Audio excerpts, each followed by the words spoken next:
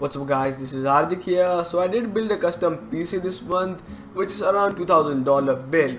It did go above $2000 because of the graphic card that I chose but I'll be showing you how to get it under or even up to $2000. So basically the first thing people ask me is what site do you trust in India for getting like computer hardware parts. So the only answer I'll be telling is the Prime ABGB. So they also have a offline store which is in Lamington Road I'll also be linking that in the description below. So the thing here is if you go offline and if you purchase all the parts from them, they give you a discount of around 5 to 6000 so the prices online are a bit more than what they provide offline. So that's a really good thing. So you can like save that money and you can basically get a keyboard or let's say a mouse. So the build I went with the first thing is the CPU which is the processor and obviously uh, I didn't choose the i5 or i3 I went with the i7 6700K not only with the 6700 I went with the K because I'm planning of overclocking my PC in the future. So if you know the K stands for overclocking. So yeah the CPU I chose was that. Then if you're going to overclock obviously you'll also need a motherboard which, which supports overclocking so the thing with the motherboard here is that in every motherboard the H series that you have is, is not overclockable so you actually have to go with the Z series which supports overclocking. So I did go with the ASRock Z170 Extreme 6 I was about to go with the Asus Z170 Pro Gaming but the maximum RAM capacity in that was like um, 32 GB and in here you get 64 GB of maximum capacity. Also there are tons of USB 3.0 and also two 3.1 USB slots. So that's a good thing. So once you have done with all these things um, let's see uh, the next thing here I went with uh, the RAM. So the thing happened with the RAM is I first chose the Corsair one uh, which was around 2700 400 megahertz. But the person there suggested me to get the G-Skill one instead of Corsair uh, which was like 3000 megahertz. Uh, I didn't actually get the model number but I'll be providing that in the description below. But for now I'll be adding um, RAM type which was DDR4 but as I said for now I'll be adding a G-Skill one around that price point only. Also do check the, check the description below if I go wrong anywhere here. So the RAM I bought was basically 16 gigs of RAM. So the price point was around 5000 or something. Um, so for instance I'll be selecting this one just 16 gigs uh, just for the price to be known. So once this is done the Intel hard drive I chose was Western Digital. I did uh, first go with the Seagate one but in the Google Plus community which I am in the people suggested me to go with the Western Digital because the Seagate ones were out pretty pretty easily. So the one I went with was Western Digital Black 1 TB desktop hard drive. If you want you could add 2 TB but that will go over budget. So that's the thing also I prefer going with an M2 drive or an M2 drive rather than going with the SSD so I went with a Samsung 500 GHz M2 drive. The good thing here in an M2 drive is basically you can load your OS and once you loaded your OS in an M2 drive your OS will boot like within seconds. So that's a good thing. So here as you can see I installed my OS in the 500 gigs of M2 drive that I have.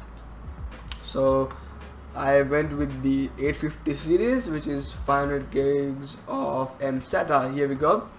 So I went with the 850 Evo. 950 Evo was like crazy over budget. It was like 25,000 of uh, rupees and in here uh, I got the Samsung one for like 14,000 so almost like a 10,000 rupees difference the graphics card I went with is the GTX 1070 but that did go over price as I said.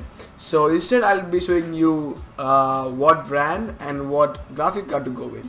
I prefer EVGA or Gigabyte but I think EVGA makes the best graphics card. So the CPU chip I'll be showing you is or suggesting you is go with the 970 so here you go. This is out of stock. Let's see um, this also is going like a little over budget. Um, but yeah I, I went with the Asus GTX 1070 let me just quickly show you that. If I search GTX 1070 I went with the Asus which was like 10,000 rupees more.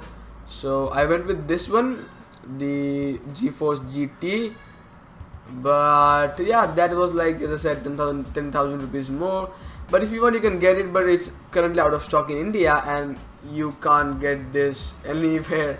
So I prefer going with the 970 instead of um, 1070 but yeah it was worth the wait and the GT extension is working fine. So the power supply I went with uh, was the Corsair one and I I got the 750 watts which in my opinion is basically fine. The minimum requirement I need was 500 or 600 watts but yeah this uh, is doing fine as well.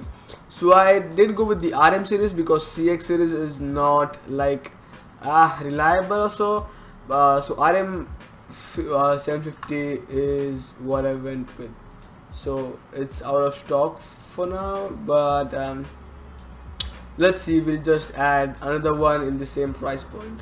So 8000 or 9000 if we select. Okay this one I went with the X one I'm sorry. So the X one is a bit more powerful than the normal one but yeah just go with the X one instead of the normal one.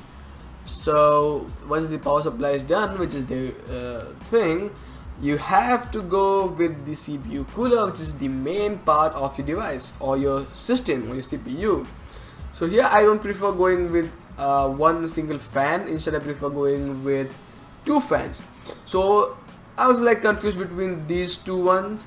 So if I just quickly open both of them I'll be showing you which one to go with and which one to not. So basically the i7 requires um, the compatibility here which is 1151 and which is not uh, in this. So you, you can't find 1151 over here. So this one which is the H110i GTX won't be supported in your CPU so just go with the H100 uh, V2 Extreme Performance Water Liquid Cooler. So add to cart. And you're done. So as you can see the price is now around let's see one lakh seven thousand. Uh, so the last thing we'll have to select is optic drive. If you want you can skip this one but yeah uh, let, let, let's skip this uh, or uh, let's see.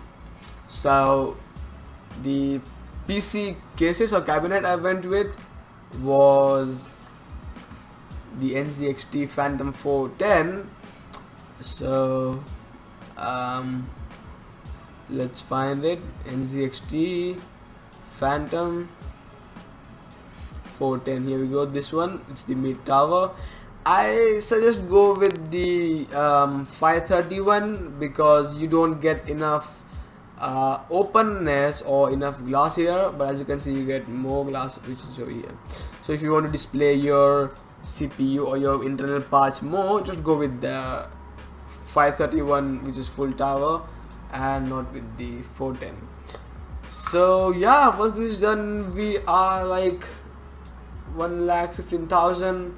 So you could like add more stuff if you want. Let's see one two three four five six seven eight and 9 we are done.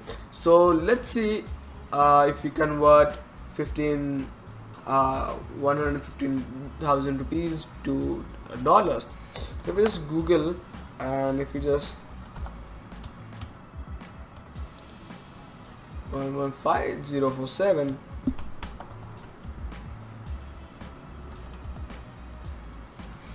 there you go.